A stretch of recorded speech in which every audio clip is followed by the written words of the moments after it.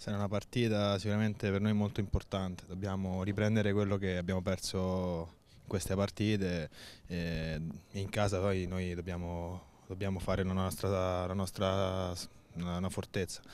Cosa manca a questa squadra insomma, per arrivare a gestire gli interi 90 minuti? C'è stato qualche calo di concentrazione secondo te o cos'altro? Ah, in campo sembrava una partita ormai, ormai finita e forse è stato quello che che ci ha un po' rovinato la prestazione perché loro non si erano mai avvicinati all'aria e hanno avuto queste due mezze occasioni, sono stati bravi nel crederci ma soprattutto fortunati. Ecco.